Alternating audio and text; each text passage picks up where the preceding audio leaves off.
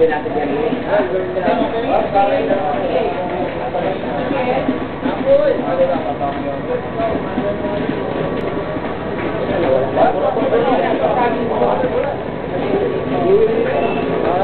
Yun o.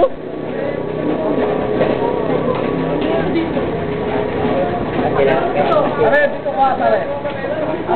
Eh, patikimin muna ako. Patikimin muna ako ng pandesal na eh.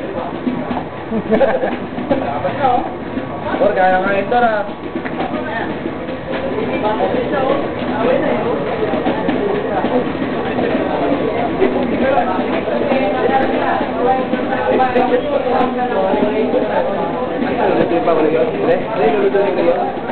No, ah, para